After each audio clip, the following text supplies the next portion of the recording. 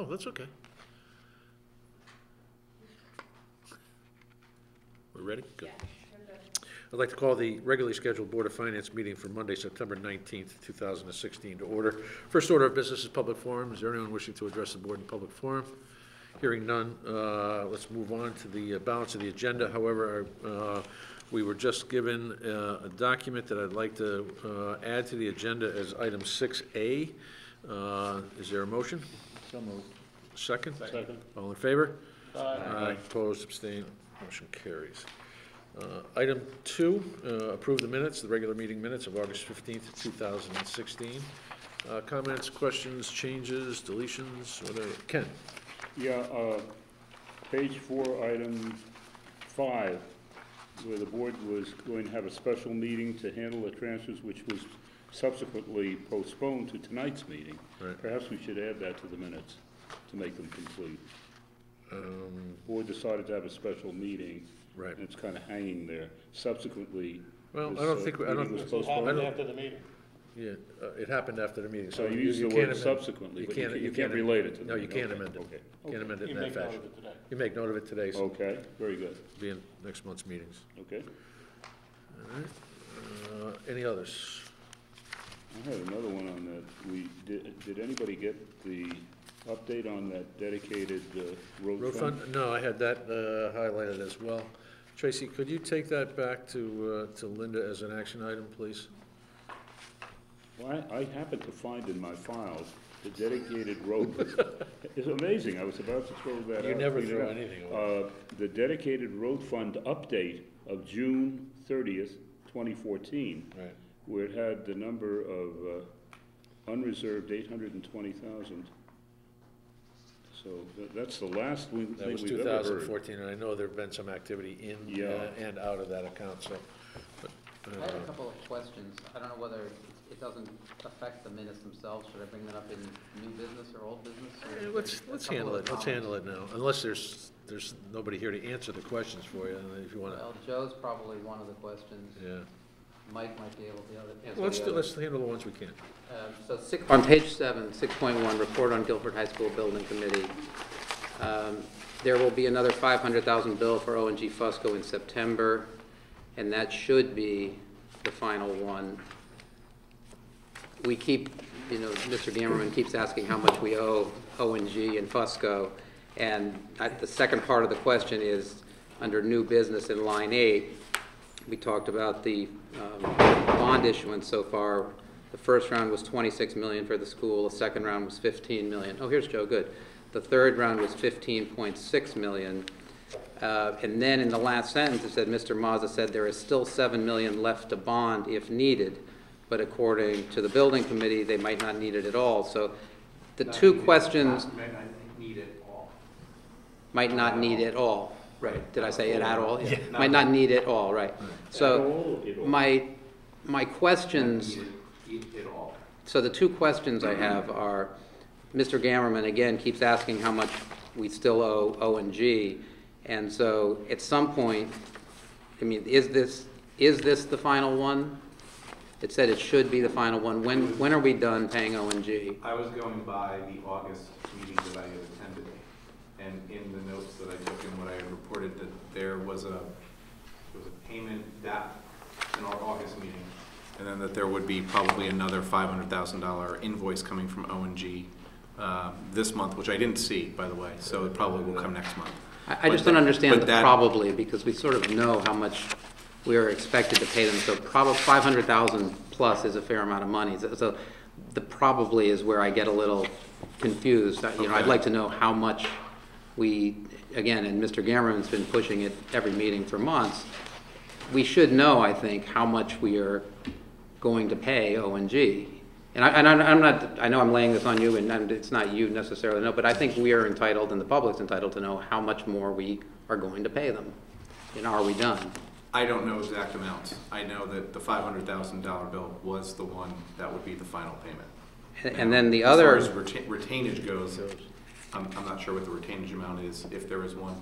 Um, So, it's, it shouldn't be, it shouldn't be much more, if at all, over five hundred thousand dollars. It could be five fifty-two, it could be, I don't know what, what the number's gonna be. you know, But- uh, Mr. Mazza could. But is that, can, are you even in a position, are you able to say that that's the last one, or are we gonna, is there five hundred more behind it, or a million behind it? I, I ca- just don't understand where the. I can where these bills should keep be coming Based on what the from. building committee said, so I leave it to the building committee as far as what that, what that final bill is, what the amount is, and if there's something that comes after that. And, and along, and along the same vein, the seven million left to bond if needed, are, do we really have that much more to do on the school? We, it's been open for over a year. Do we really have seven million dollars worth of expenses left on the school? And, I- you know, I'm not, do you know the answer to that, Joe? Do we know realistically? It seems unlikely to me that we're, that we could possibly have to spend an additional seven million dollars on the No, school. it's not a matter of, of spending an additional seven million dollars. It's a matter of how much we're gonna get back from the state. Okay? And, Right. and, uh, uh, number one, and, uh, number two, how much we've already spent out of, uh, cash flow that we have to recoup. Okay? So, I don't know until the building committee gives us a final account. It's about the Because- audit, it's also about the audit.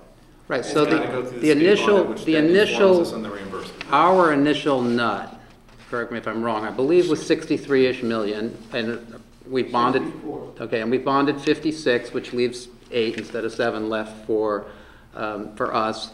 And our sixty-four was after full reimbursement from the state, and the state reimbursement is predicated on a satisfactory audit uh, come completion of the project. So I, I recognize there might be a need for that. So the, the seven or eight that we're talking about still though, is what we originally thought we as the town, the taxpayer, were going to have to put into the project after getting fully reimbursed from the state. So I, again, my, my question is, I, I don't- I don't see how it's possible that we could still have seven million dollars in outstanding invoices. Like I say, the school's been open a year, is there? it- it we don't, we, I don't believe we have seven million in invoices. I believe we also have bands, uh, that, that we uh, will be rolling over to final bonds. That's In, correct. in addition Now, to the cash flow that we've used from the- fund balance. The seven million is already out in bands, thank you for bringing that up. Right. Okay, so that seven million could be turned into bonds if we need it. Don't know. Is, is that the face amount of the band, seven?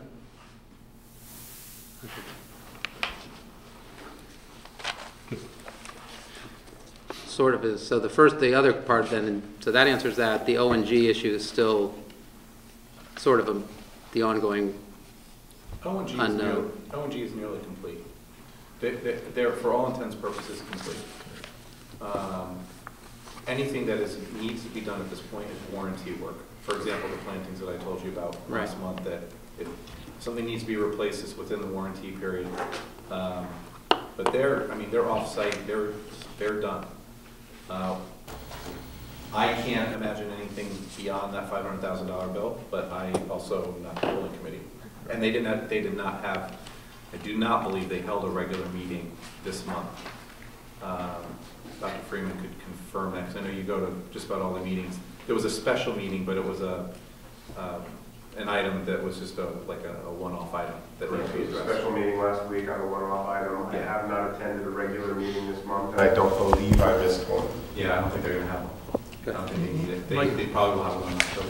Mike, maybe you can help me out. Uh, how is ONG, what, what's the structure of how ONG is paid? Was it a flat fee for the project, or is it a percentage of what was spent? Fixed fee. There's a fixed fee. Yeah, So, so we should be able to, I, I agree with your point.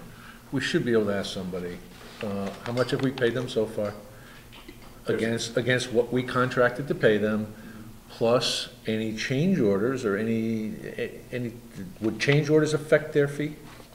Of course it would, yeah. Okay, so it's not quite as simple as we contracted for, you know, with O and G, sixty, sixty million dollars, so that's sixty-four million dollars. We paid them sixty-three five, or sixty, fifty-nine five, and we owe them five hundred. So there are some things that come into play that changes that number. So it's not as simple as saying, we contracted for X, we've already spent Y, and then Z is the difference that we're supposed to make. That's a difficult number to get to, is what you're telling me? What I, what I can tell you is there's a payment requisition for a certain amount, and I don't exactly remember that amount, uh, uh, uh, the, the exact amount of- of that construction cost, because then it went up because of change orders. Um, That, that amount, but that comes out of contingency. So that was all factored in, whatever the change orders are, they get added onto the base amount of the fixed fee. Um, That five hundred thousand dollars is what's left in their payment requ- requisitions. So if the amount is, let's just say hypothetically seventy-three million, they're, with change orders, and it was a certain amount before base plus change orders of seventy-three, they have five hundred thousand dollars left of the seventy-three million to get paid, and that's it. All right. And then they're done. So there's no accrue, you know, there's, no- there's nothing that's being added to the project because they've already addressed it with the base and the change orders that have already been addressed. And there's a payment requisition that I remember that was handed out to the building committee in August. Uh, I did not get a copy of that, there was only so many copies of the stack of ninety some odd pages. But I'm sure the building committee would be more than willing to provide that information if we wanted it. Okay.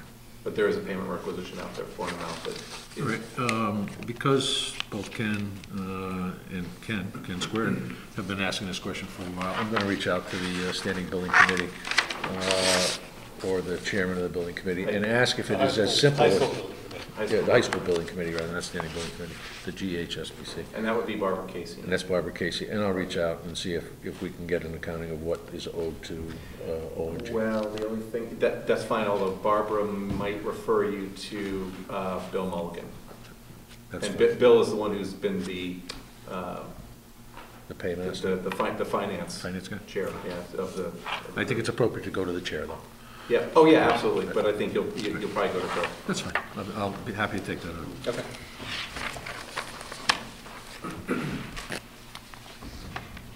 Others on uh, the minutes? I, I have one item on page three, and it was a follow-up regarding the, uh, outplaced special education student projections, which we requested. And Linda did respond back with answers to a lot of our questions from last time, but there was, that one you were still waiting on an answer. Do you have that yet? Uh, You were getting it from pupil services, I think? Right, I actually got the information from them Friday afternoon, this past Friday. So, um, we currently have twenty-six outplaced students in the, actually, let me clarify that. There's twenty-six students in just the private tuition line. I know you only see one tuition line. And I don't have the total of the public tuition. I'll get it to you tomorrow. I'll That's fine. That- that's tomorrow, If that's okay. Absolutely. When you say public, is that the VOAG and the magnet, is that, when you throw that additional in there, is that what you're talking about? It's the VOAG, um, the ACES programs,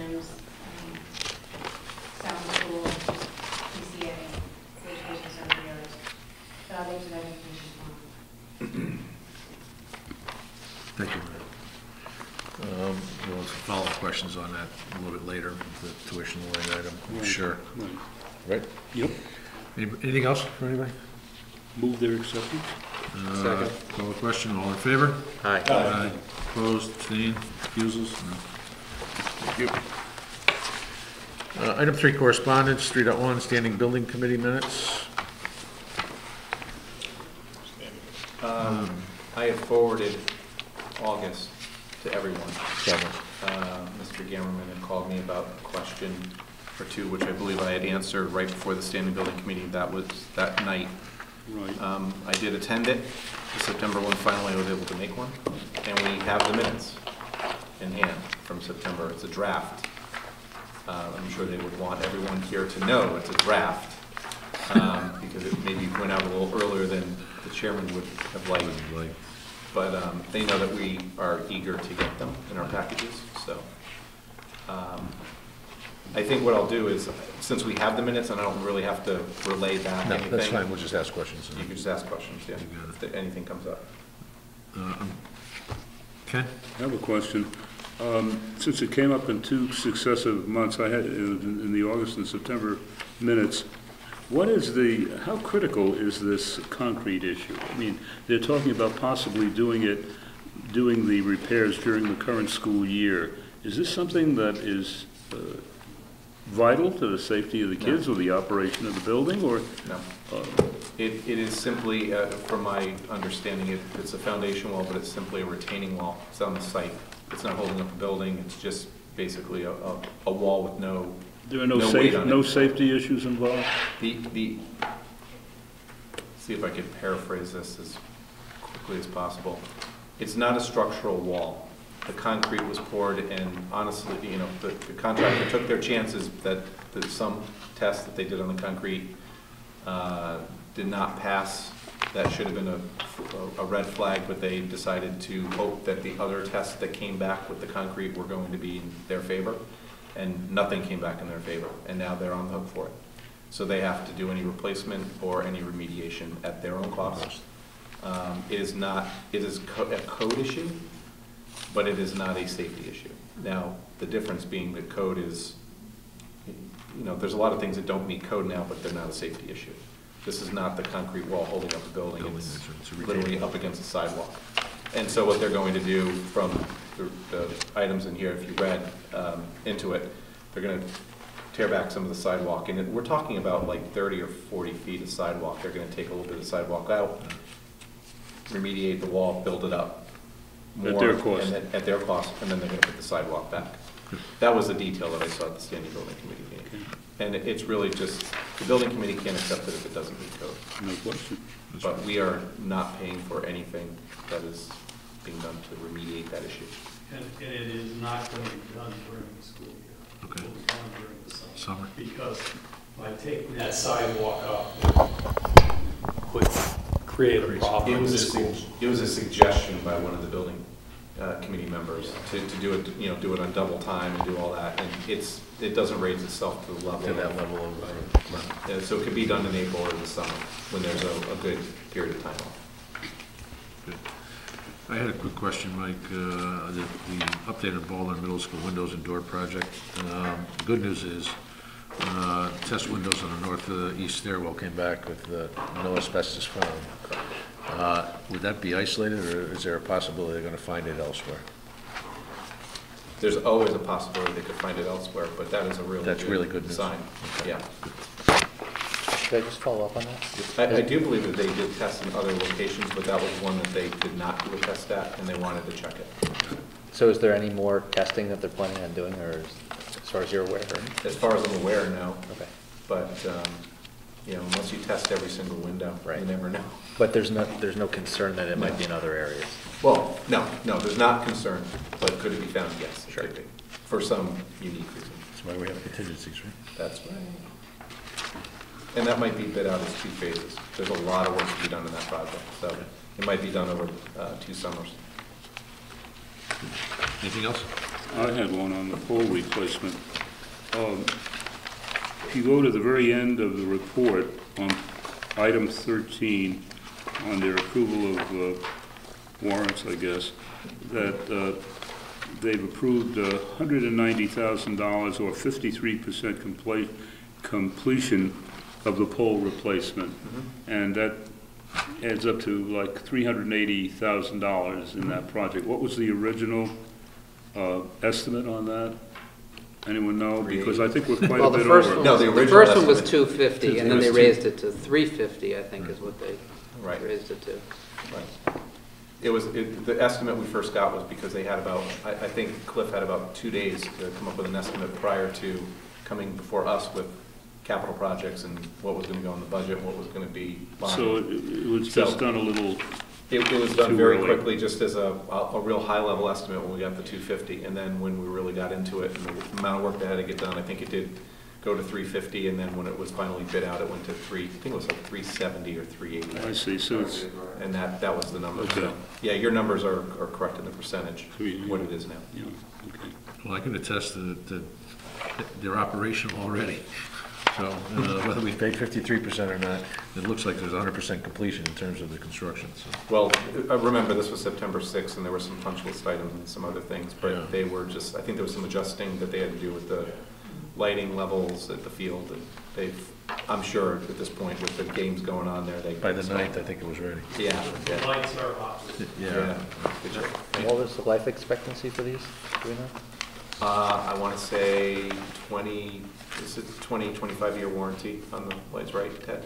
The lights or the poles? Ted, Ted attends all the building committee meetings, 25 more so years than I do, were so sometimes I look at Ted, I'm like, what what is So it there's, then? there's two components. One is the pole itself, which is what forced us to replace it. Poles are, are probably good for, you know, thirty to fifty years. Yeah, they're not wood, Lights these are Lights metal are different poles. story. These, these poles are gonna last, these are not the wood poles that we put in 20. The, the lights themselves are warranted for twenty to twenty-five years. I have a question on number 10, which will save me asking the question later, because I was going to ask it later anyway. Um, Update on performance contracting. In response to a question, Mr. Gurnham explained that the source of the large electric bill at school facilities is due to the addition of air conditioning and a fresh air system. The trade-off for the additional cost is improved comfort for our staff and students. Um, In looking through the, the Eversource bills this month versus May last year, I, I recognize that the schools probably run the air conditioners in the summertime, but we spend a lot more, I think it's fifteen thousand at the high school versus thirteen, and five or six thousand at, at Jones and Leete and Adams and Cox versus four or five thousand back in May. So the kids were in school in May, and the Eversource bills were significantly lower for the month of May than they were for the month that we're getting here now, which I think is half July, half August. Um, So I, I guess I'm, I'm not aware that the schools are being used as actively as they are in May. If they are, then I think that answers the question. If they aren't, then I'm a little surprised that we'd be running AC constantly and running up these kind of, uh, I'm assuming it's all AC, running up these kind of utility bills in the, in the middle of the summer when they're vacant. Well, there's, there's a couple of factors here. One, the, the degree days in July and August this year were significantly higher than they would have been in May. I mean, Agreed, A agreed. Agreed. higher. A lot. Agreed. Um, And while the, the schools were not in, in session, um, I don't think it's, it's considered to be good policy to run the school and let the temperature inside and the humidity get up to hundred percent. Mold and all kind of stuff like that. So you have to keep the temperature down to a certain degree, and more importantly, you have to keep the humidity down to a certain amount, so that you don't get these other health hazards develop. And we just had a real hot summer. That's the answer, that's the answer. It seems, uh,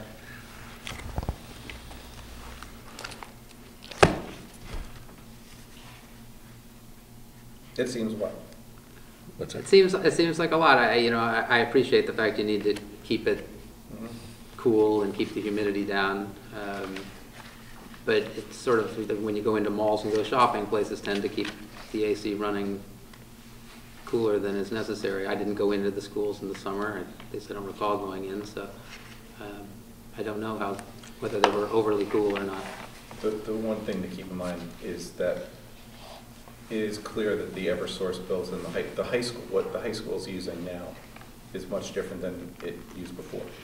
And we all knew that when the school was built, that it was gonna be, it was gonna be an electrical draw. But it's also, you know, it is a comfort issue. Yeah, but if you look at the percentages, So- if you look at across all the schools, the percentages are pretty dramatic at all. I- If it were just the high school, you know, maybe I'd, but it's across the board, and I'm sure that some of the schools were. Um, In some of the schools, I don't think we need to worry, you know, a lot of these schools never had air conditioning, so, yeah, I think you could keep them slightly, set a little warmer than perhaps they were, I don't know.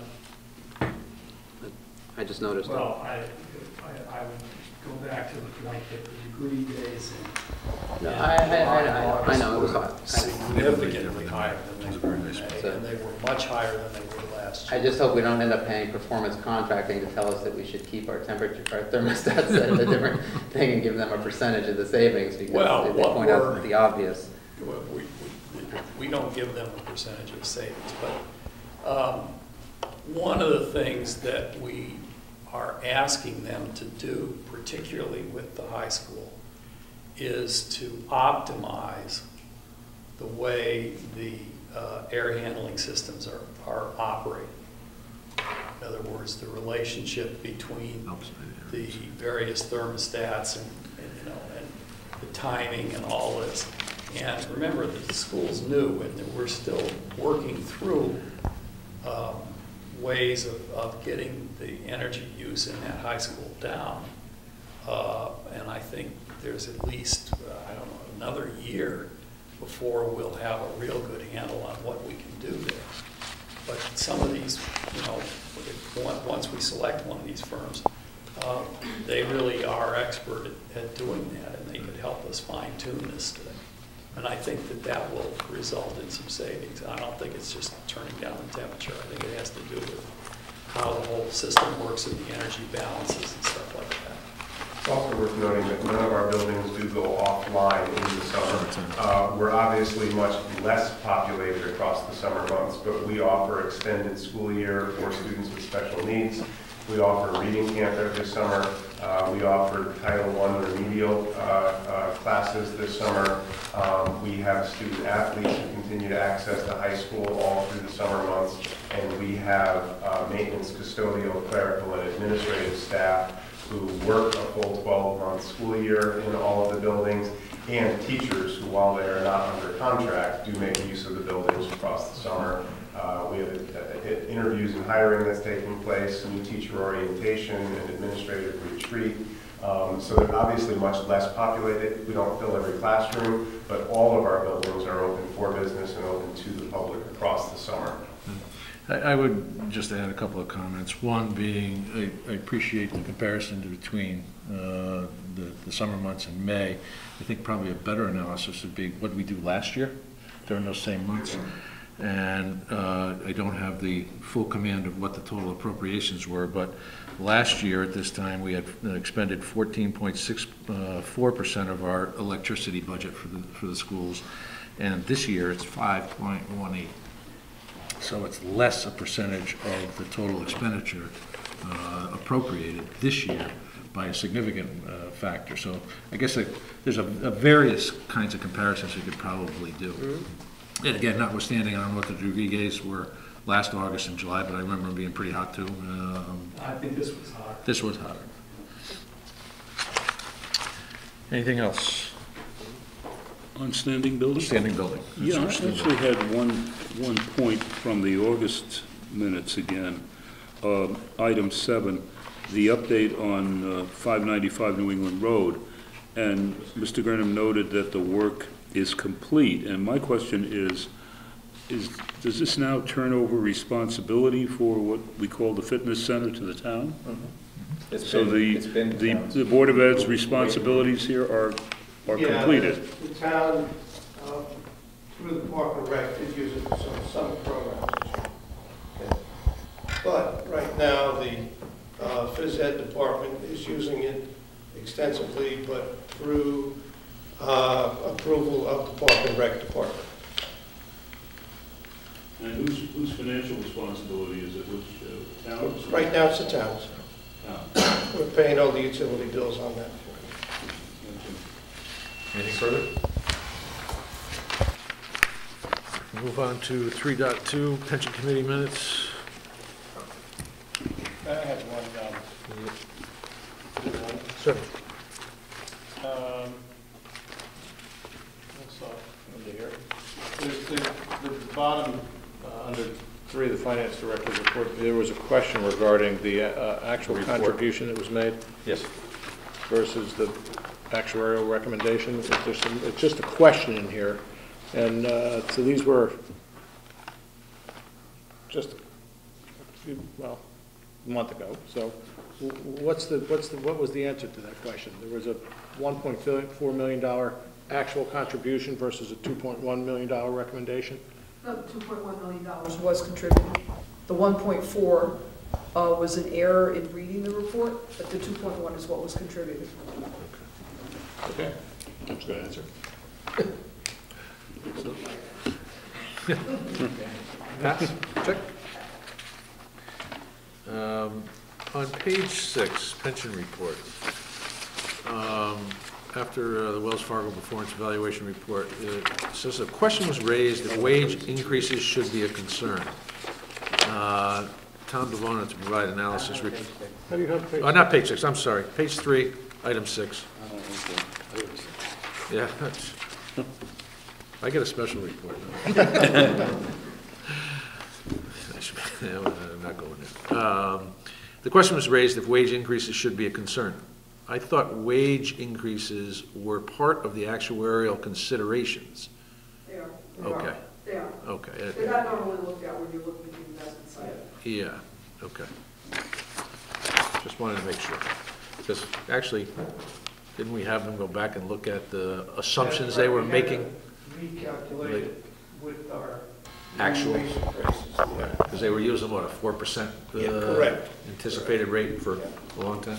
Okay. And We paid Just wanted to make then sure. recalculated. Anything else on pension? I have one question on page four, uh, on the Town of Guilford Pension Plan Performance Summary. Uh, I would appreciate some explanation or clarification of these terms. The final bullet, Inception Fund performance is eight point nine percent against a policy of seven point one percent. I'm a little uncertain as to what that means. The policy is, there's a guideline. Um, Each one of these has a, a- a specific investment characteristic. And so the, what they do is they benchmark it It's a benchmark. against, you know, it's a certain percent bonds, a certain percent of this index, and certain percent of that index. So that's what they're talking about. Talk about a benchmark. Blended Yes. benchmark, basically. It's So we- blended, We ben- exceeded the benchmark. yes, Yeah. yes. Good. Anything else on pensions? Well, hmm, Let's move on to item four. There will be to review and accept the report of expenditures of the Board of Education for August 2016. Linda and Ted, you want to come up, and then uh, the, uh, our superintendent would like to address us uh, after we go through the numbers. Is that okay? Anything you'd like to bring to our attention? Well, it was certainly a uh, frugal month for the board, we weren't, uh, school was not in session. Um, If you look at our uh, payrolls, for example, uh, they uh, look like they're missing a digit, but uh, that's because uh, the, uh, the- the teachers weren't there. Uh, The expenditures for the month of August were uh, $2,010,158.10. Uh, Expenditures and encumbrances through the end of August were nine point one seven percent of budget as compared to nine point eight eight percent of budget in the prior year. Uh, Basically, I would suggest to you that the difference here is almost entirely due to timing of uh, certain payments. Um, it- uh, I would, I would not, uh, I would not infer a trend from this one month. That's pretty good, pretty good assumption. Teachers will be here, so they're already here. Yeah. Um, So I would be happy to, uh, uh, along with Linda, answer any questions you had with respect uh, to any of this or with respect to any of the warrants. You got it. Let me open up for questions, anyone? Lou? So, with regard to, um, there's a couple areas that just percentage of expenditure so far jumps out ahead of what happened last year. And the first one was, we have already at eighty-eight percent of dues and fees versus last year forty-six percent this time. That's a timing issue. So it just happens to be when somebody out there bills us, I mean, these aren't big dollars, but it just struck me as. No, it, it has to do with when those kind of bills come in. And then security is roughly double, in fact, more than double where we were last year. Now, that could also be just a function of finishing or getting out ahead of projects. Yeah, So is there any reason to suspect that won't be on track? I mean, it's No. early still. no. It'll be on track. Um, we actually lowered the budget on the security line, so it's gonna throw the percentages Ah. off between the two years. Okay, Um, but that, that line should be within budget. Okay. Great. Ken? Uh, Upkeep of building and grounds, we're at seventy percent expended and encumbered. Could you explain that so early in the year, or they pretty much did all the big projects? Last year it was. 67. Yeah, you do it at the beginning of the year. A lot of it is the annual testing and um, inspections and services that we have to do that are encumbered already. I see. Um, And there are things that'll be, some of them are done quarterly throughout the year, some of them are done annually. So a lot of it is just the annual maintenance of, and testing that's required in the buildings. Okay. All right, I had, uh, I I mentioned earlier there'd be some questions around tuition, and I know that uh, the increase is due to timing of payments, but I'm a little concerned that at this point, two months into the year, and I know this is a 12-month cycle for, uh, for for tuition, but we're at about 30% expended. Um, Is that because people are billing us significantly in advance, or, and I know you said there are, there what, two less students than we had last year at this time? Well, I think that there's a couple of things going on. Uh, One, uh, I, I think major impact uh, uh, on these percentages is that um, some of the schools have changed the way they're billing us. Okay. Uh, Some were billing monthly, and uh, I believe we've got one that went to an annual billing, Okay. and some that have I gone to semi-annual Okay. billings. Yeah. And it's not just us, I mean, I think they're doing that across the board. Um, And so, I- we had a very extensive discussion about this at the, at the uh, Board of Ed meeting. And uh, I'm convinced that right now, uh, this does not indicate that the tuition line is going to be over budget. Okay. Well, you raise a point uh, that I think could use a bit of clarification when you, there are two items particularly that are rather significant items in here, one for hundred and thirty-five thousand, another for twenty-seven thousand. And uh, it does say one tuition, but is that an annual tuition in both cases, or is that monthly? If, if if it's, if it's No, gonna it's be not more. monthly, I can tell you that. Well, uh, the twenty-seven thousand. Oh, the What is that, is that a 27,000. semester, or? The hundred and It involves thirty-five one thousand, student. the hundred and thirty-five thousand is one student, and that is an annual tuition. The twenty-seven thousand, I believe, is a monthly for one student. Yeah. Yes, that is a monthly for one student, and that is a full-year program, not a ten-month school year program. Okay. I think that's a residential. It's a residential. It's a residential. So it's a full year. Yeah. Okay, so in both cases, they're annual. No, No, one is a, One's only One's monthly, monthly, but it is a program that runs all. well, I so think there it will would be help 12 us if, if they were done on the same basis, you know. Well, At it's least- how they At least bill a us. note, Yeah. but at least a note put in there, or something to give us an idea of what it, what the uh, cost may Well, be We could- we anticipated. could indicate whether things are monthly or Well, semi-annual. That's why we put July 2016, so that was That- the charge for just July July. 2016 for one student. We, on, we only have a limited amount of space that we can put in a description, so we thought that by putting the month that the tuition was for and the number of students in there, that it would try and make Right. it a little bit clearer. And, and, Okay. it- and to your, and to your defense, it is, the hundred and thirty-five thousand says 2016, 2017, one tuition. That's correct. I read that as an annual number. Uh, The other one said, did say July sixteenth. Right, and then the, the one couple above it, the forty-nine thousand, summer two thousand and sixteen, six tuitions, so I think, I think some of it's there, It's there. you know? Okay. So, I didn't Ken? have any questions, but now this is spurring one little one. So our, our budget this year is two point four million, Right, which is basically what it was last year for tuition. It's, it's actually eighteen thousand more this year. Our budget this year is two four one two, and last year it was two three nine four, so it's eighteen thousand more. But we have two or three fewer outplaced students.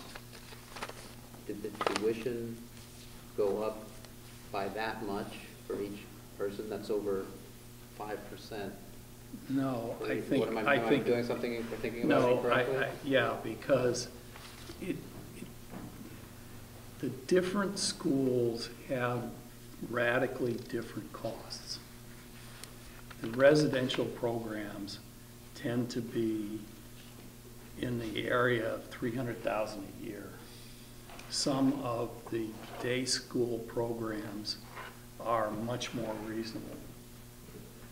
So are we, do you? So if you have somebody who shifts from, because of the, the condition of the student, if you have some, uh, student who shifts from a school where it was costing us fifty or sixty thousand to somebody, to another school that's gonna cost us a hundred or a hundred and twenty, because that's what it's gonna take, because of the current status of that student.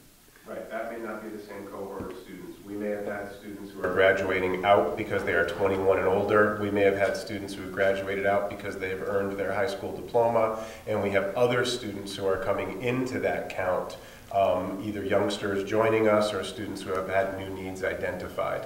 So yes, there will be some annual increase built into that, but it's also a different cohort of students who may have different needs, who may have had increasing services provided from the last year's um, budget, or maybe in wholly different schools from last year's budget. And Linda, could you refresh my memory as to how you go about setting that number?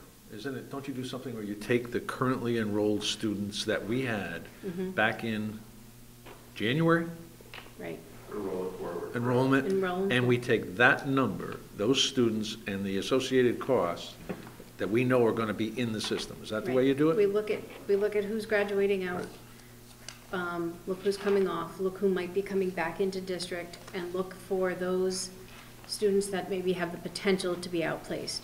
But we also have to factor in what the um, excess cost grant rate is gonna be. So Right. we have to pay up to a certain dollar amount before the excess cost grant will, is supposed to cover the remaining tuition. That changes every year because it's based on our per pupil expenditure times, depending on whether it's a DCF place or um, a locally placed student, that factor always changes. So every year that goes up on how much we have to pay from the first dollar for every outplaced student. It was seventy-four thousand last year, this year, I don't know exactly what that number is yet. But it's So- more. But, yeah, so we're, we're trying, we have to try to factor in that that's gonna go up and pay, and that we're gonna have to pay that first seventy-five thousand, seventy-six thousand dollars, whatever it is, for each outplacement. And then the excess cost grant is supposed to come in, and we don't get the full hundred percent of the excess cost grant. Is, is that seventy-four thousand, um, constant across all towns or across our DIR? No, it's How does based that on, work? it's Is it based on our per, per pupil, socioeconomic, per uh, pupil expenditures. Four and a half times your per pupil expenditure is the amount that the state expects you to pay before they begin providing excess cost relief. And the excess cost relief never comes in at hundred percent of, of Comes in- what's beyond four and a half times Comes in your in expenditure. 70s, actually. Um, It's CAPS every year has been lobbying to reduce the number to three and a half times your per pupil expenditure.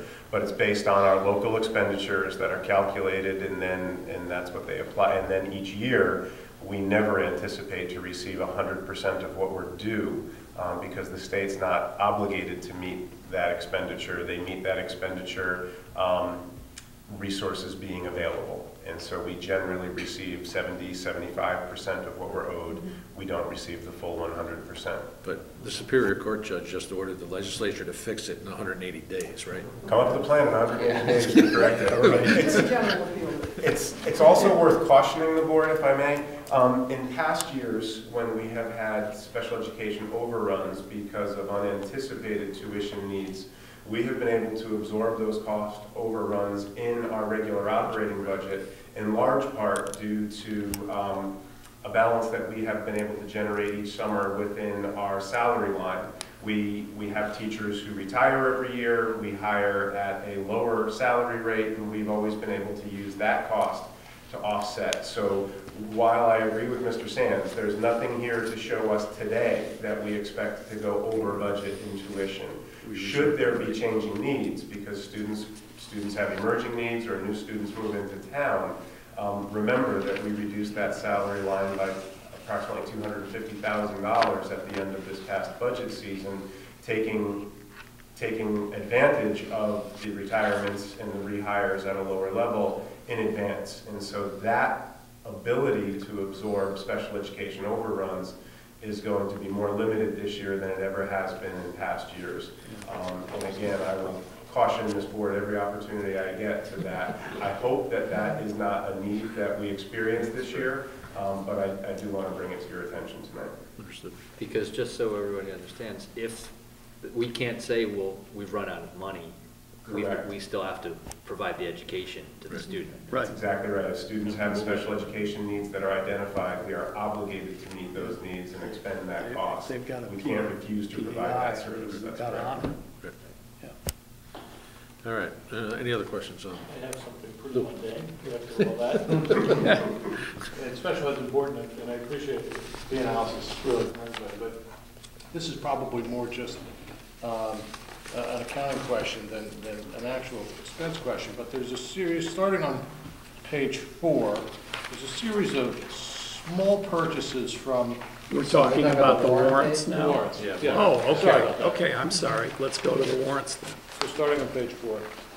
Um, So it looks like it must have been work over the summer, is what I'm guessing, but like you have Hampton Zimmerman, Landon Lumber, Page Hardware, uh, Com- Company Lowe's, and I'm just kind of curious, why those all show up as individual purchases rather than some sort of lump purchase, and why whatever's happening doesn't get negotiated at one point? Well, well, let me take a crack at that, and then we'll have Linda do it. I mean, the reason you're seeing so much of that is that we do almost all of repair work in the summer.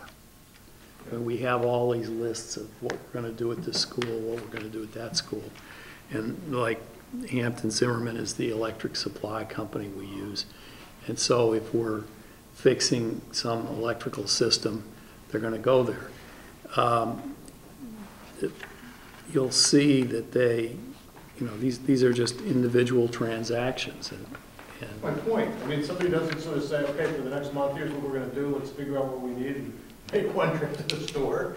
I mean, it just, it seems odd. I, I don't know, because I think that the, often when the, when the guys are in there working on it, Yeah. they'll discover that they need something else, or, you know, I mean, it, it, they, they do get some of it in advance, but I think once they open up the wall and, and figure out what's really there, they, it- it can, they can need more. Just ask Roger at Pages, I go back three or four times for this project. One Sunday, right? I mean, I, I've been to Zimmerman three times in a day trying to get some things What do you fixed. forget now is Roger's favorite line. But it's a good question, you know, are we going to the store twice? Sometimes It's going just, to I the mean, store it's a two or three difference between a times a homeowner and, and what I'm presuming are essentially pros doing what they're supposed to be doing. It just seems like it's not the most efficient method. Agreed. I have a question, uh, um, in the, uh, the summary of the uh, Operations Committee, uh, this was on the 8th of August, uh, those transfers that occurred, I just wondered what we lost or whether it was laid over uh, to the current year's budget, but uh, you moved, in order to meet the sick time pay obligation for teachers, you moved uh, 45,000 out of purchase services and 15,000 out of supplies and materials. And um, how critical were those losses, or were they, I mean, what did we lose, if anything, over there? Or was it reapplied to this current year? I mean, are there any Well, purchase services that we decided not to get? and No, Supplies and materials that we decided were not important? or- go ahead, Linda. No, This- we this- had- This gets complicated. we had, um, well, for a good part of the year, we It's the had title of the a, movie. It's complicated. we had a a freeze on, on spending. So there was restrictions placed on items unless they were essential for running a classroom program or curriculum. Um, So these items, these funds that were available were funds that were there because of the freeze. I can't tell you specifically, well, maybe we didn't spend a thousand dollars here, we did it this year. um, But in order to cover those, that commitment for the retirement sick pay for the teachers that were retiring, we had to pay those out and we had to cover them from somewhere. Because it was either that or come back and ask for money, and we weren't coming back and asking for money. I have a larger question on that. Uh, There were 320,000 in uh, in payments made for unused sick time.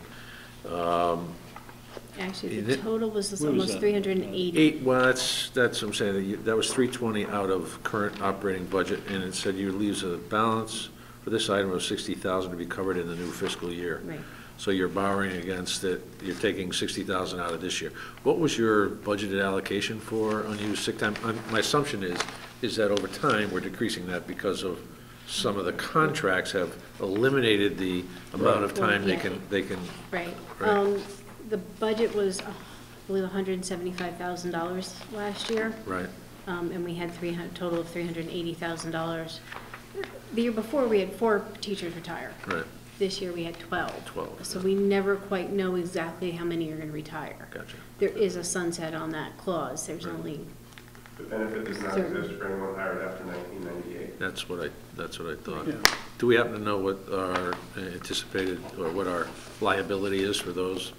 Well, it's difficult to say because they can continue to accumulate sick That's, time, right? that's the well, no, problem. it's. That's the problem with doing no, the- analysis. Because there's a max on it. They can only accumulate half of their unused sick days up to seventy days Okay, for a teacher. so we could put a finger on that and say, uh, you know, we anticipate another I- I half a have- million dollars I don't over the next remember five the, years, I right? don't remember the count off, off the top of my head, but I do have that information. I could tell you the number of teachers Yeah. that are still We eligible for we that. could calculate the total exposure, and Right. then, you know, every year, we wouldn't know how much of it comes due in any given year, Year, but we should right. be able to calculate the total exposure left at this time. It'll be helpful in here. I can get that It's, first. yeah, Yeah, Yeah, it's a schedule. yeah. Right. I, I have it. I just don't remember off the top of my head what it was. it's true, the new numbers will be out with the audit, but that, mm-hmm. You ought to get them in reserve. Yeah, but that won't be here till December-ish. But I've already prepared the schedule I for would the figure your auditors. schedule's already there. Yeah, the, audit- I had the auditors in last week, two weeks ago, already. Good. So they've already come through. Do you have to train a new one again, or not? No. Or is it the same team? Same team. Same team? Well, pretty much. One new one. Anything else? I had a question under, under capital, um, the site improvements and the equipment instructional, uh, it, it's down from what the percentage of expended and encumbered was last year. This is going back to the, uh, the sheet. Is that a timing, uh, a function of timing, or is that? I'm sorry, which category was that? I'm in, under capital, equipment, instructional, non-instructional, and site improvements. The equipment instructional, um, is, usually most of those purchases are from the technology lease. Right. And because the lease, we couldn't do the lease until after the budget had passed, so we were late on the lease, so we didn't have a lease in place until August first, where last year we had it in place in July first, so he couldn't purchase anything for that line item until after August first. So it is kind of a timing. It is a timing. Okay, That was a long answer to just say timing. okay. Sorry. No, no, I'm glad you clarified that. Thank you. Others? Actually, I have a, I do have a question. Okay. August eighth, Board of Education meeting. Um, actually, there was some mention in, of this in another, uh, the other meeting minutes, I think. Um, There was something about a, a, a trust, Yes. and I was just curious where that property, what, is that something that can be disclosed? I don't know. There, there was something about a resolution for the superintendent to sign in regards to a yeah. trust. To be used for scholarship. It's to be used for It's a scholarships. Scholarship Okay. fund. Um, so it was the Landorf Trust, um, and we received the funds, um, from that trust. Okay. Um, over eighty-two thousand dollars. Oh, I To be used for scholarships, um, at the discretion of, of the committee, the, the scholarship committee. So we- I, I've met with, um, the high school and we've talked about setting some guidelines and, and trying to determine what amount is going to be given for that scholarship.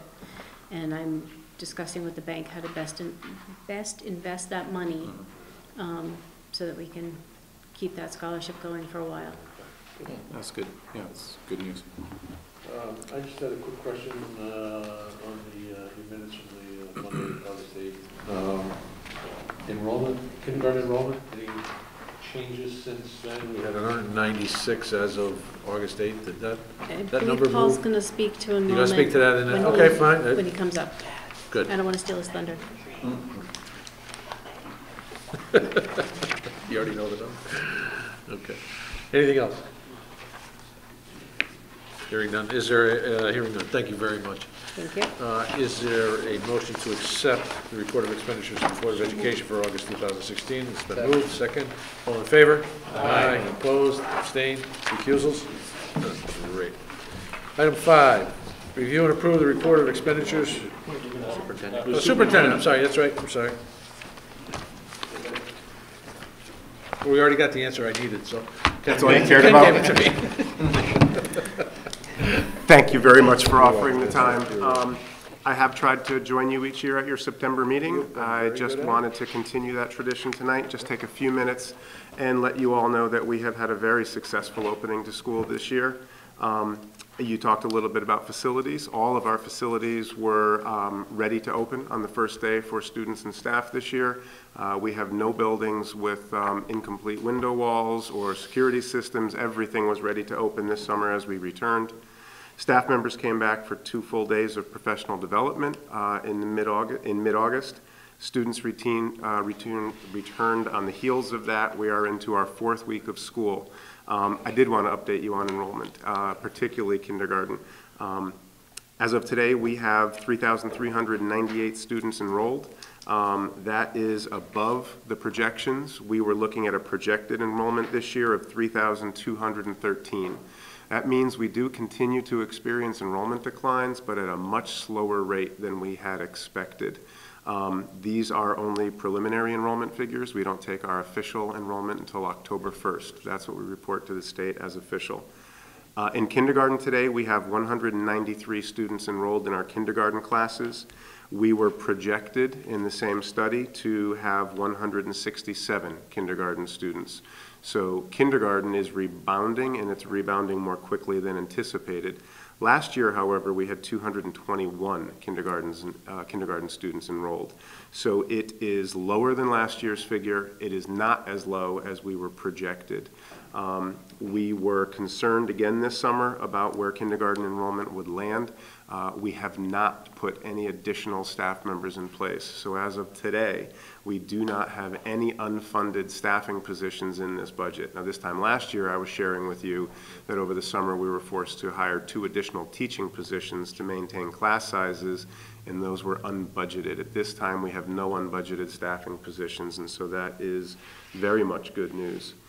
Um, I also wanted to share with you that this year, uh, we uh, changed bus routing in the town. We changed, we changed bus routing as a result of some recommendations we received from an outside consultant. Uh, We worked with three priorities as we looked at our bus routes this year.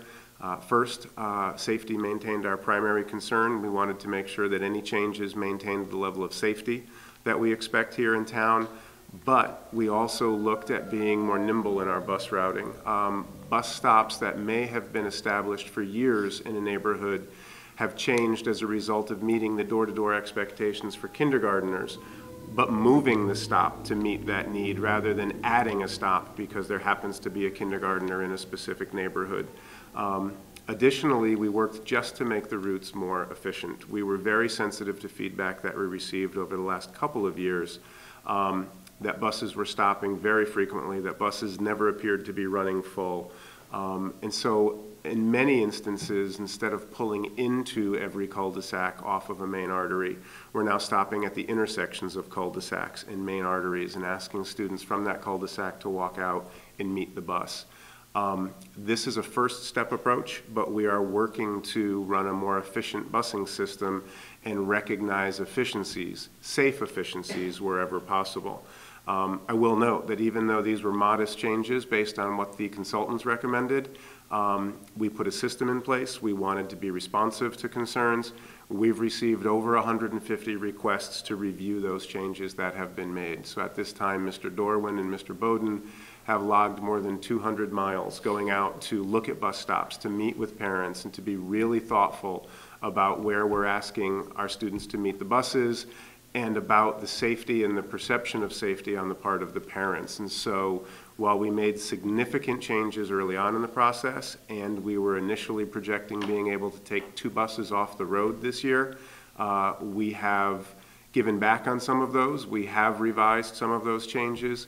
So at this point, while we do project to see some shorter bus runs, parents stood up at our last Board of Education meeting and noted that their parent, their students are being picked up five or 10 minutes later this year than they were last year. So reducing the time on the bus is an, an innate good. Uh, but we also do uh, project to generate some modest savings uh, in gas. We have put those two buses back on the road in response to parental concerns that have been raised this year. But we have maintained many of the changed stops, particularly those around the cul-de-sacs that I noted. Um, and we're going to continue to work on this as we get better with the software that we're using, as Mr. Dorwin becomes more experienced as our transportation coordinator. Uh, we expect each year to continue to strive for more efficiency. There was a letter shared with our community today about the bus stop processes and results, and that's posted on our website uh, if you're interested in that. I also want to share with you, though, what we shared with the board last week. Um, so we've opened school, we're back to school, things are going well, and over the summer we also received the results from last year's standardized assessments. Um, so just last Monday night, we shared with the Board of Education our results on the Smarter Balanced Assessment, the new annual summative assessment that we take. Um, while we spent much time cautioning the board that one measure is never a complete way to look at our performance, and while we very much cautioned our board about using comparative measures, looking at how we perform compared to other school districts, I do, however, want to share with you that when you look at Guilford Public Schools and the rest of DIRG B, 21 communities that have um, demographically the most similar profiles to Guilford, on the English language arts assessment, third graders through eighth graders in Guilford performed um, at the top of the DIRG. We are the number one performing school district in DIRG B in terms of English language arts performance. We're tied for the number one position, but we're at the very top of the DIRG. And in mathematics performance, we rank seventh out of 21 similar districts. We're very pleased with what that tells us. What that tells us is that we're making good decisions, um, that our teachers are doing good work in the classroom, that the community continues to support the work of their children in the schools, um, it's only one measure, but that measure tells us that we're making the right decisions. Mr. Bloss would tell you that if you looked at Guilford demographically, we should rank at the very bottom of DIRG B. Um, if you just look at financial measures, um, we would be 20th, 21st, 22nd in our DIRG. But when you look at simply one academic measure, we're performing very much at the top of the DIRG. Uh, we're very proud of that and wanted to share those results with you here tonight. Uh, it's been a very good opening. We're looking forward to a very successful school year. By financial measures, do you mean uh, cost? No, the DIRG really looks at uh, it looks at income per capita. It looks at household, um, you know, household income. It looks at how at the value of the homes and the properties in town. Um, when you look at Guilford from those demographic measures, um, we're not pushing to, to leave DIRG B and be recognized as DIRG A. Um, we're sort of in the, at the bottom end of DIRG B when you look at those measures, per capita income, value of home, value of property. Um, but when you look at our performance, we're very much at the top our per student expenditures would be considered average for the state. Um, we expend just about at the 80th, um, we would rank about 80th in the state on what we spend. Um, I don't have the results in front of me, but I know that when you look at our performance statewide, not just in our DIRG, I believe for English language arts, we performed about eighth highest in the entire state. That's including the DIRG A communities.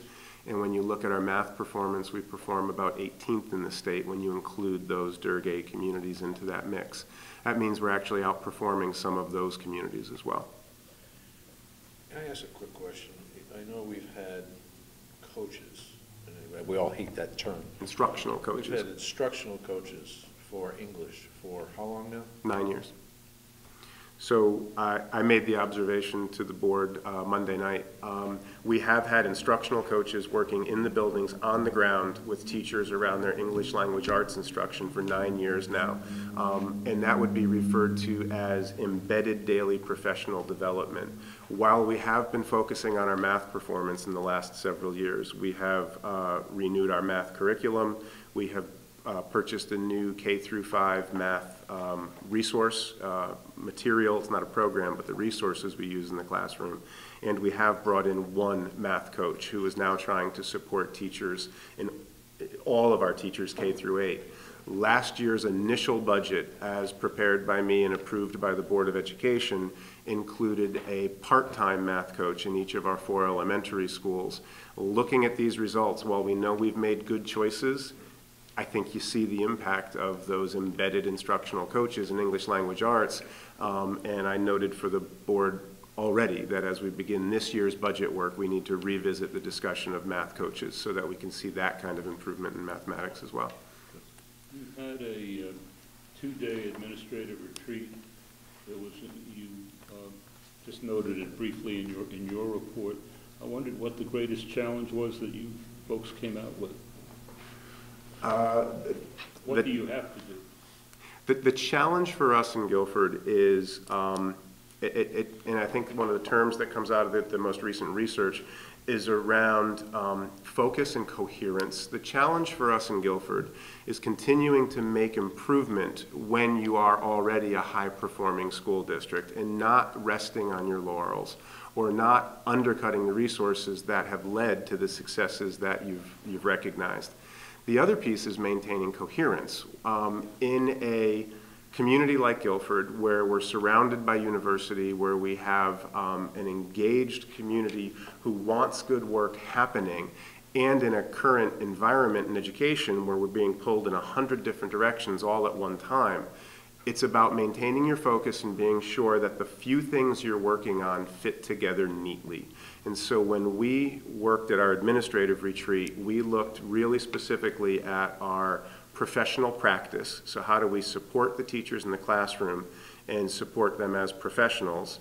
We looked at our pedagogical practice, instructionally, what do we expect to do in the classroom every day? And what do the teachers do with students in the classroom every single day? And then we looked at the content component, our curriculum renewal. We've renewed English language arts, we've renewed math. Uh, The Board of Education, just at their last meeting, approved a renewed social studies curriculum, and we're beginning work on our science curriculum. And we're launching a, a community-wide conversation about homework and the importance of homework, eh, the purpose and importance of homework moving forward this year. So when you're trying to balance your professional practice, your instruction, and the importance of the content that we bring into the classroom, how do you do that and not dilute the work and not allow it to fracture or fall apart?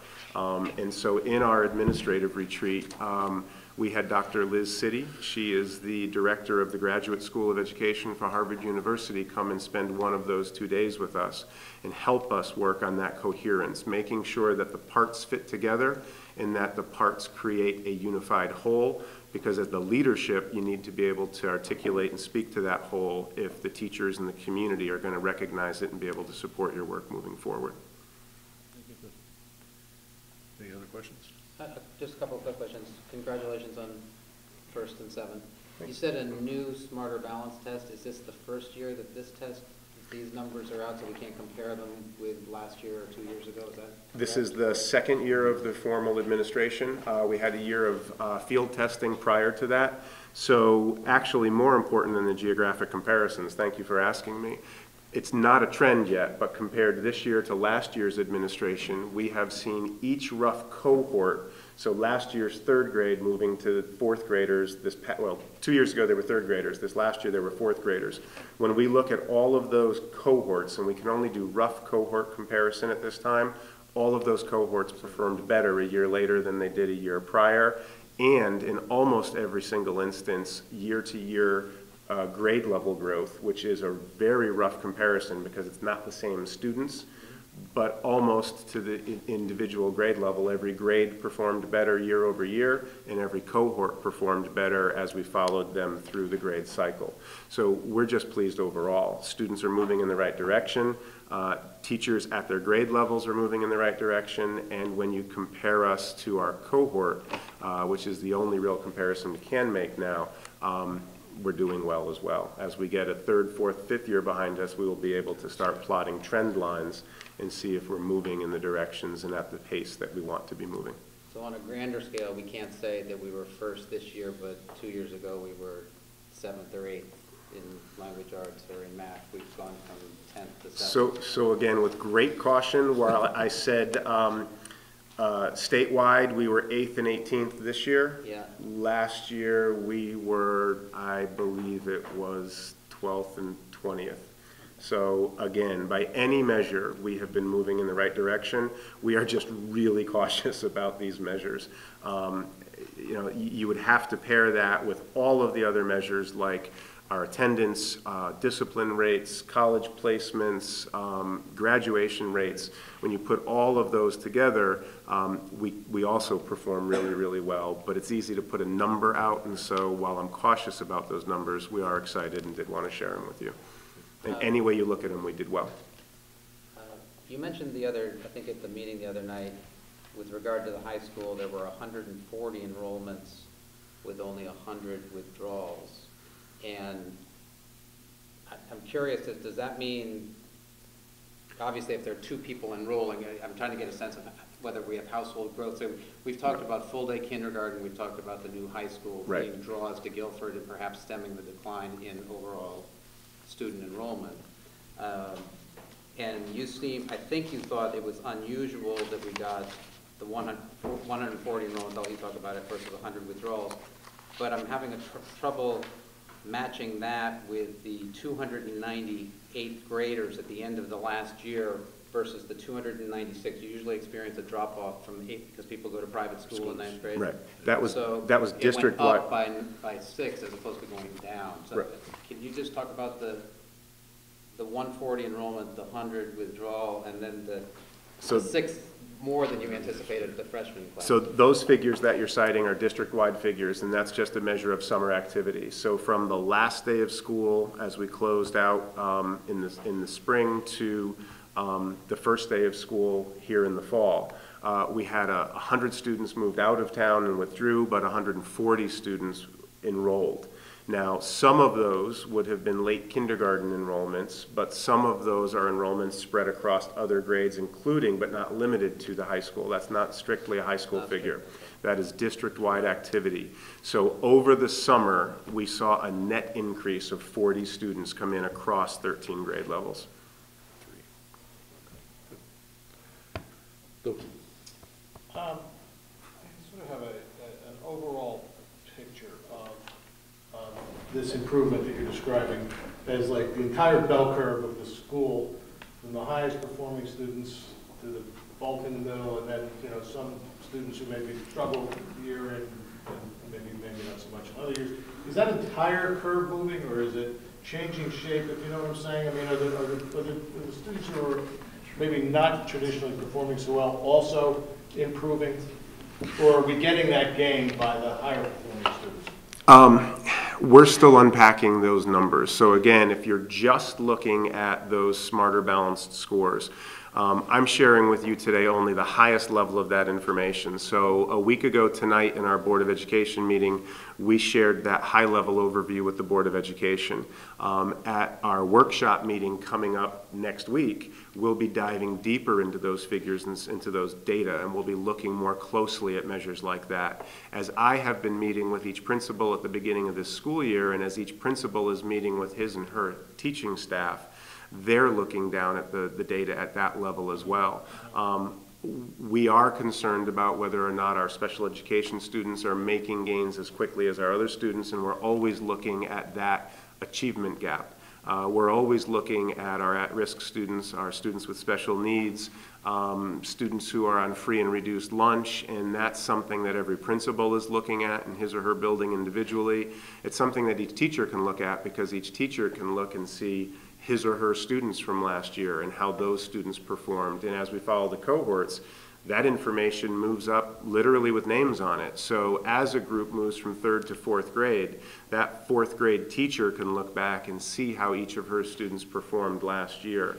Um, broadly, I don't know that I can answer that question specifically, but it's important information and we look at it for two reasons. It allows us to look at individual student needs, probably three reasons. It allows us to look at student needs and target those students that need additional support. It allows us to look at um, subgroups within our, our school, and in, in Guilford, in our population, the, the biggest and most significant subgroups are going to be students with special education needs and students who receive free or reduced lunch support. Um, and then broadly, it allows us to look from a curricular and instructional perspective and, and make observations like we did. Why, why is there a disparity between English language arts performance and math performance? What are we doing differently that could account for that? And should we make instructional or staffing or curricular changes that, that would help to close those gaps? And so that's what these large tests allow us to do. I continue to, to agree with the people who, who, who note that these tests don't help us um, by slapping a label on a school and identifying schools that are failing compared to schools that are succeeding. And I don't believe that these tests are really beneficial in the, in the area of supervising or evaluating teachers.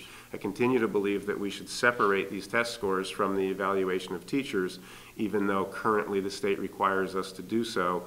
And we do it thoughtfully and carefully without, without overemphasizing the importance of one measure. But over years, particularly as we get four or five years behind us, this large end of the year um, test will allow us to begin to draw trend lines. And you can look at math versus English language arts and see are we closing that gap or is it widening? And we can ask really thoughtful questions about why. We could look at grade levels. We could look at individual teachers' classes and make some make some thoughtful inquiries based on that rather than saying you're a good teacher and you're not and this is a good school and that's not. That's not the way these tests were ever intended to be used. Is there any reason, I'm sure it's, I know it's premature, but is there any reason to think that based on your mini clustering of the buses right now, that if and when we go to later start times, that it's it's going to have a, and the- the effect of reducing the initial estimate of the cost of the busing? Are you, is there any data you can glean thus far? Um, I, I wouldn't call it data, but I would call it impression. Um, our, our bus routes have been established and fairly static for a significant period of time. And in fact, I think if any change has been made uh, in the last 10 years, it's been to add more stops to those routes. I think the first thing that we recognized when we made the changes this year um, is that it is an important um, and emotional topic for, for community members. Uh, I think that we recognized that it's not something that we can change broadly and, and significantly overnight, that it is something that requires um, conversation and dialogue and trial and open-mindedness and change over year. I think as people become more comfortable um, with stops that bring people out to the main arteries in the community, but not standing in the middle of the main artery. It's the, the bus stops the traffic and then you, you board the bus. As people begin to recognize that the stop you have when your child is in kindergarten isn't necessarily going to be the same stop for the next 13 years, that stops do have to be fluid, I think we'll be able to generate better efficiencies moving forward.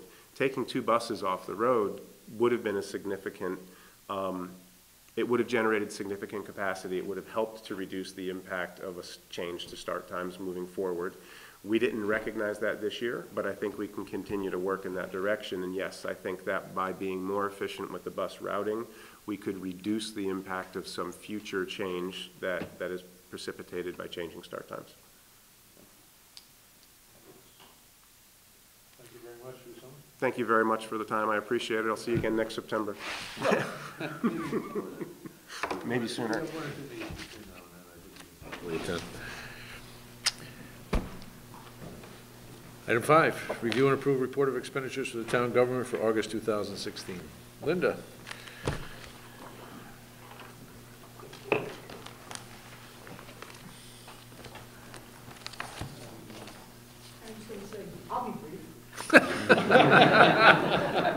That's how I said it. It's, I think it's, I think it's this side of the table that's been, uh, We'll all be brief. yeah. Uh, Good evening, everyone. Um, Where would you like me to begin? Well, let's, uh, why don't we start with revenue?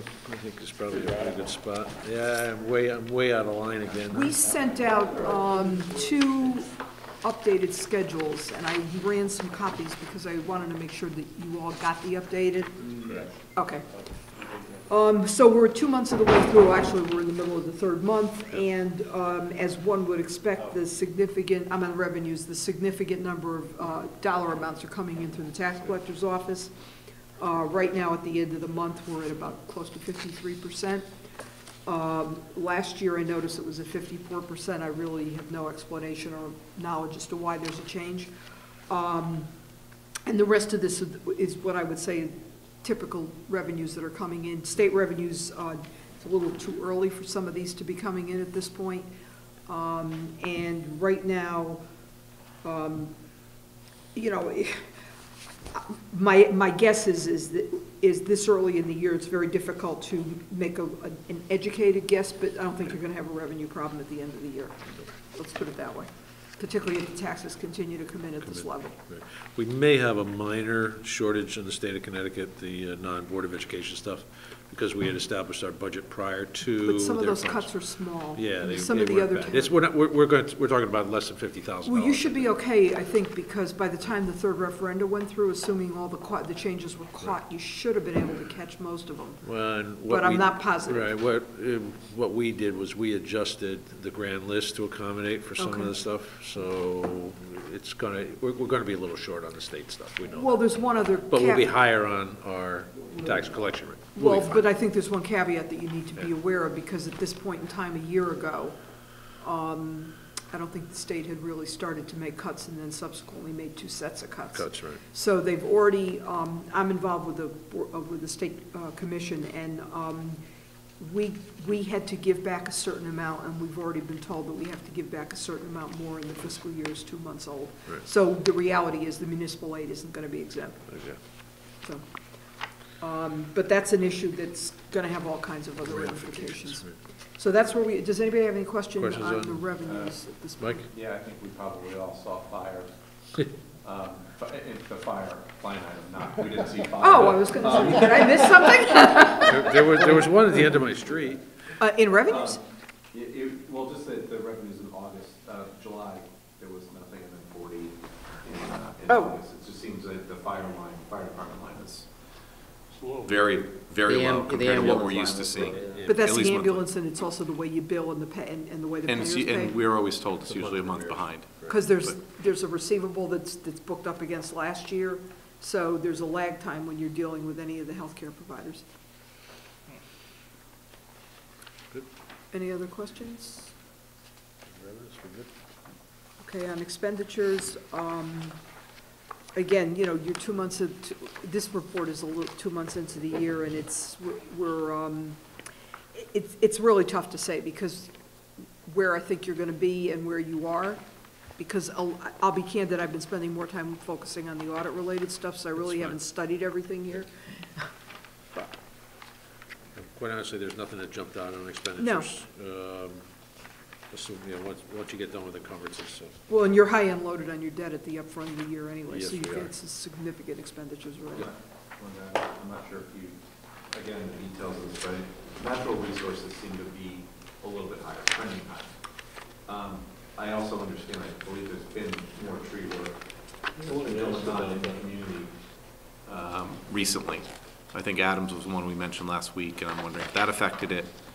I know there's some other work that's being done downtown. I probably can't answer that. The only comment I'd make is this is the time of the year when you're gonna be doing tree work, particularly because, yeah. um, in anticipation of any storms, I know they want people out there doing things, assuming these are the people that are doing some of that work. But, uh, the first selectman could probably respond better than I could on that. Well, a Specific question. Exactly right. More than usual. Yeah. And I didn't know from the report. Uh, I was looking for an article for something else You'd probably bring up, but uh, we do have some encumbrances in there, some purchase, blank purchase orders that have been issued in anticipation of more tree work to be done. Ken? Yeah, is, is, uh, are we gonna need more money, uh, in that line this year because we're seventy percent expended? No. That's, No, we're already provided for It's it. just that he's doing most of the work now. Yep. Good work. Well, no, we've encumbered it. we've covered most I of mean- it. Covered it. Here's what you want to do. Other uh, questions on expenditures? Warrants? Anybody? Um, I'm not really sure, I guess. If you have You don't any have- questions, I'll try to answer them. We could always take the questions back. I- And that's We can exactly what I always take the questions yeah, back. Great. happy to do that. Uh, Warrants or special fund weekly checks, general fund weekly checks, anything? Ken? I have just a couple quick ones. Uh, Page 11 on the, September 15th? Sep- yeah, that one. I'm sorry, page what? Page 11, down at the bottom, reserve, I- the Wetland Commission complex application fee for 350 Goose Lane for $5,300. Um, You know what- is- is- a weekly or is it No, it's, it goes to Jacobson, it's a uh, study on Du- on Goose Lane. Jacobson is a, yeah, and is a contractor that was hired by the town to do a third-party engineering study for 350 Goose Lane, but that is being reimbursed to the town by the developer. Is is that the Wilbur and King property, the old Wilbur and King That's property? correct. Then that explains why it's up front, because these are balance sheet accounts, so this is where the expense would come out of, and then the reimbursement would come straight back through. Yep. Okay. Others? And why do we do that in that way as opposed to having the developer pay for it, just out of curiosity? Because the uh, town puts out the RFP, or RFQ for it, and then the town selects the, uh, the engineer. And then we have the applicant pay for it. But if the applicant doesn't prevail or if the project doesn't go through, then the town pays still for pays it? for it. No, they They pay still for pay it. for it regardless? Yeah. Okay. This is a very common practice in, in uh, most towns now, um, because the town wants to have some level of control over how the study is done. Done. Okay. Then on page, same document, page 48, um, perhaps it's the same thing, I don't know, it's for environmental consulting lab, bacteria testing and stormwater testing for a little over 2,000 and one for 1,300. Doesn't, That's coming out of, I think, a budget, dep- a budget line item. I can get you the answer on what that is, but it appears, huh. These look like they could be an ongoing, an ongoing issue, but I'll get you the answers on that. I haven't, I don't recall seeing it before. Okay. Seen it before. Yep. No two questions. I'm going to flip over to the other Ken while you, Oh, yeah, go ahead. Is it I'm okay? sorry, yeah, by all means, anybody can jump in. I have two questions on warrants. Uh, The first, on the software computer Page, equipment. page, Oh, page. Pardon me, page, on the 915 set, page 13. Computer equipment for the police, the $85,000 figure, is that a single, complete figure? Yeah, that's Computer the, uh, a, uh, first payment of the three-year capital lease. It's a lease For the new computer system for the police department. Remember when we had to reduce our budget? Right, We had uh, $200,000 earmarked uh, in our budget for the police computer, and we reduced that budget and, uh, by uh, significantly, and we decided that we would go out on the capital lease, and so this year's 2017's payment would be $85,000. it's the first of three. Great. Um, Another question, uh, not that we don't need the psychological consultant, but if we look at page 36, I don't see what department that's fire. linked to. Police Is that fire? Fire or police usually. Most likely fine. Page 36. Of which listing are you on? Because, It's on the special weekly, oh, general fund weekly checks. General Fund Weekly, sorry. page, page 36. Are we Total of about 17.6. Yeah, I think we talked about this last month. This was a contractor that we have, uh, this was the doctor that we have on, um, under contract Youth and Family Services. for, for youth and family services. No, Yeah, we just, we- this came up last month, too. Yes, it is Youth and it's the same one? Yeah. It's, it's, it's the same doctor, I believe, it's physician. We have an annual contract. with them. Yes, Mike. Uh, uh, Lou? I'm. Lou? If I could get back to the eighty-five thousand dollars for the police, um, lease, uh, what, what is the differential of paying that lease over three years versus the one-time purchase that we would have done, cost-wise? Because we have to Lose the code.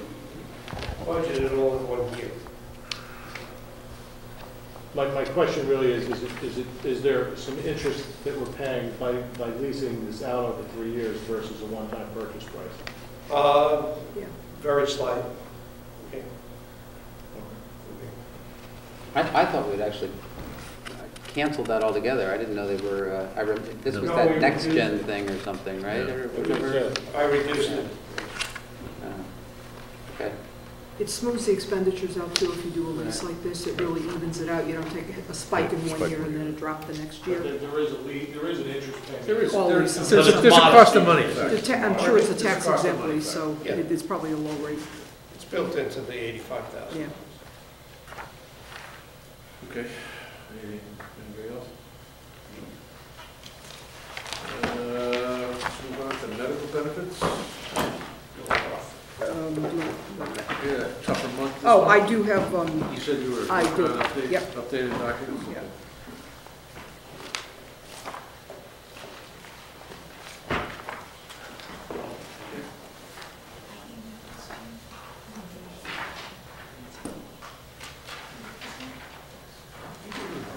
Give me one. You want to hear that? Crazy if you give those to the selectmen on tomorrow. Thank you for indulging us and uh, going back and doing it the old fashioned way. Appreciate that. no problem, I'm not, I'm, I'm, I'm, I'm a short timer, I'm gonna give you whatever you guys need, so. Uh, now I need one of them back. Uh, Except the longer you keep her here, the more we have to pay her. Pay her. You mean tonight? Yeah, Tonight, she gets paid by the All right, hour. meeting's over. yeah, well, we got a few more. Speak Uh, quickly. Ba- I will. Basically, um, we're really looking at the first two months. It's very difficult to really make a gauge, particularly because when you're in the summer, you know, the teachers are, excuse me, education employees are the largest group of users, and a large number of those folks do have the summer off. So sometimes that's an opportunity to have med-surge procedures. You know, and so it's possible that numbers could go up. The one thing that I think you need, you need to be concerned about or alerted to is that in the first month, we had no claims that exceed, exceeded the seventy-five thousand, and in this month, we had several that jumped, and one of them went over the level uh, covered by the um, ISL. So, we're only in the second month. So we need to keep an eye on that. There's very little that we can do to contain that. But other than keeping an eye on it, and at some point, when you look at that little box that's got a blue line on it, right now, quote unquote, we have no savings on the premium, you know, of what we're paying for the, uh, for the ISL. However, we're only into, we've only had one month worth of claims. Um, as far as the revenues are concerned, they're pretty static, you know, in terms of what we anticipate they're gonna be, but right now, we are projecting at the end of, um, two months, a deficit of a dollar, so that was pretty good budgeting. Uh, And the bottom uh, is dropping through. We we do have an estimate that the um, incurred but not reported for six thirty sixteen, the IBNR was a million sixty-five. Um, And that brings down what we're projecting the fund balance to be at at the end of this year at a million one fifty-seven. And now that this is set up the way you want it to be set up, before I leave, you'll have one more month, and then Mary Jane will be able to take you, you know, take you through the rest of the Great, year. thank you very much. You're welcome. for- for finishing. Does anybody else have any other questions? God forbid we have to learn how to read something else. Well, you might when she comes, but, you know, I'm gonna give you Sure, a That's, chance. that's negotiable. That's negotiable. Joe? Mr. Chairman, uh, again, he asked about the uh, police budget. Uh, that We took that out, uh, the computer, it's in the budget for, on the capital for $100,000. Okay. Okay. All right, so was in there for a hundred and... 100,000, It and we turns out to be only 85. eighty-five? Yeah. Okay, Okay. billing permits, Uh, we finally got June, right? June, 23. and we've given you July and August. Excellent, thank you. Um, you. And I think, All right, oh, and the golf course. golf course. Do you want to talk about that in conjunction with the Yeah, transfers? well, we could, yeah, we, we can certainly talk about it uh, with the transfers, but just uh, a significant drop in revenue um, so far this year. Um, Very high, very significant jump in utilities uh, from, and again, I- I'm, I'm supposing last year's number was wrong um, at three hundred and twenty-five dollars uh, for uh, versus. Oh, yeah. ver- Versus uh, sixteen thousand. And I guess the question is, sixteen thousand for what period? Uh, It would be, This should be two months, but the reality is, it's probably two bills that were paid during the first month, and I'm, I can't tell Tell you you. off the top of my head which one those two are. okay. Well, nonetheless, that, uh, It's something to keep an eye they on. keep an eye on, that's right. Um. Anybody else on the golf course? We're supposed to be implementing some big changes this year. Yes, Well, we'll be doing that water. shortly. It's- It says water, but I don't understand why. If you look at the next page, it says water. Is it water But, does that mean we didn't water it last year? last year? It- I it I may- saw it in- in, in. It may also be the cycle of what the billing is for Yeah. water, you know, it just may be, and is it Connecticut Water Company? It is Connecticut Water. They may have changed their billing cycle? Yeah, I mean, anything's possible. I, I, yeah, I agree. The only thing is if you look at the January through August, then it doesn't make sense because the number's still off by a By, like yeah. amount. It's ten thousand versus twenty-three thousand, so, Doesn't seem to be much rhyme or reason to it. yeah. Yeah, we can check into that and make sure that we're not inadvertently maybe kept. the pond on the course was full last year and they had the hoses to, to hit the It site. was, it was a wetter spring, wasn't it? Uh, Okay, um, anything else of Linda? Uh, Is there a motion to approve the uh, expenditures of town government for August 2016? So moved. That's moved and seconded. All in favor? Aye. Opposed? Abstained? Recusals? None? Good. Okay. um, Item six, uh, discuss and take possible action on end-of-year transfers to close out fiscal year 2015, 2016. Uh, As is a normal occurrence here, uh, prior to um, closing the books, we move, uh, we move money to cover uh, departments that need, that that have exceeded their uh, expenditures, their approved expenditures. Uh, And what we are looking to do is to move uh, uh, $854,000 uh, from various departments to other departments. Um, And let's just walk through these quickly. Uh, The, the- and I'm going to put this in a form of a motion so that we can uh, discuss and then take action on it. Um, It is uh, recommended that uh, we transfer from contingency $7,000 to finance uh, to cover the annual audit, uh, possible overage due to fire department retirement. No, Finance Director. Finance director, excuse me, finance, not fire department, finance director. Um, Seventeen thousand five hundred dollars uh, from contingency to registrars of voters uh, to handle the mud- uh, multiple budget referenda. Ninety-five hundred dollars from contingency to natural resources, uh, tree maintenance and removal expenses. Um, $140,000 from contingency to fire department, in addition to $20,000 from communications to fire department to cover replacement salaries due to workers' comp and uh, open uh, positions or vacancies. 185,000 uh, reserved from bond premiums to debt retirement interest.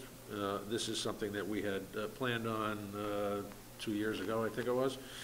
And lastly, transfers of $45,000 from police, uh, 255,000 from engineering and public works, 174,000 from employee benefits, and $1,000 from contingency to the Guilford Lakes Golf Course. Um, So I'm putting that in a motion. Is there a second? Um, I do have a couple of quick questions. Linda, uh, just as a point of clarification, uh, when we say uh, a department transfer to the Guilford Lakes Golf Course, are we saying to the, to the specific non-major proprietary fund? Is that how it has to read? Well, there actually is a line item in the operating budget for the Guilford Lakes. It's a transfer to item. It's a item. transfer to, right? So what we're doing is basically using that as the vehicle that we're gonna get the money over there. So it does not have to designate to the proprietary fund? No, it's, it's to the No, course. We were saying it's It's, Says- yeah, Okay. I would that's say fine. that, it, it's to, it's to extinguish the deficit. The deficit, which Yeah. will fall to the audit report on non-major proprietary funds. Right, right. Now, uh, the question I have specifically is, uh, and I actually found it, I went back to uh, um, the, our audit uh, from, and I think the, you know, this is prior to the most current year's uh, deficit, but I think we had a deficit uh, as of uh, six thirty-one, two thousand and fifteen, of 379,000 in that account. So we are proposing to move 475,000 which uh, theoretically, which not not theoretically, it will cover that three seventy-nine, plus the anticipated loss from the fiscal year 2015, 2016, and an anticipated loss from 2016, 2017. That is Is that correct? Yes. Okay. Um, And in approving this, I think what we are all recognizing is, is that this needs to go into the, into the budget. Uh, And the first selectman, and I believe the board of selectmen has made a commitment to do that in the upcoming budget season. Is- Yeah, we'll become a operating department and become part of the general fund. Right. And the reason we can do this and move this kind of money around, uh, because it is not, because the police department, engineering, public works, employee benefits, all had surpluses in their account this year, uh, which will go to diminish the uh, surplus at the end of the fiscal year, uh, which would traditionally fall to fund balance. Okay. If you I'm want, sorry I to can, I can give you an estimate on, on what that, what the impact of all these is gonna be? Uh, These, yeah, I think we had, well, the, the total is what, um, you had, I think, one point four and seven hundred thousand a month ago. We're, at- we're, rec- after, if all these transfers are made, we're- we expect the net result will be a million three. A million I three. mean, I'm rounding, I mean, it's a million three fifty plus, but that's, we're- that's the net result. And that's a million three fifty plus between, uh, unexpended funds and unanticipated revenues. Absolutely. Okay, good. Including the transfer. Including the transfers. And that's Net- including- Net of the transfers. That includes the transfers. Right. I'm sorry to have dominated the conversation. Uh, anybody, questions, or? Well, I'll second that motion if you put that in the That, that was a motion, right. Any, uh, any other questions, comments? None? So this is the first step in the, in the transfer of the golf course Yep. to. To an operating an fund. operating. And it cleans up that little hole in the audit that doesn't Yeah. look great, good, so. Now, we wouldn't have been able to do this without the surplus, like you said. Agreed.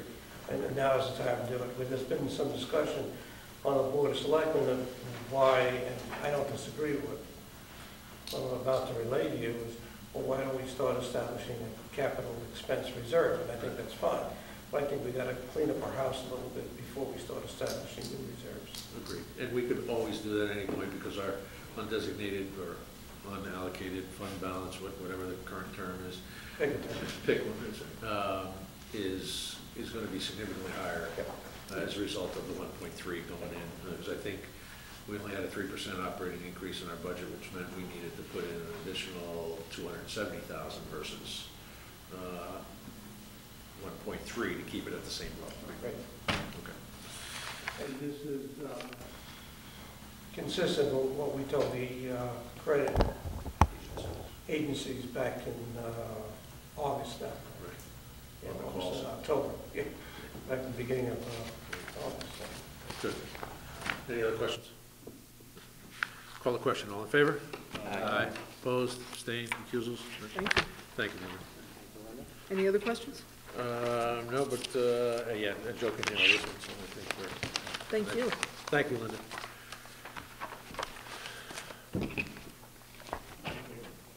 What's that? Yeah, yeah, Joe, Joe will handle the next one. Yeah.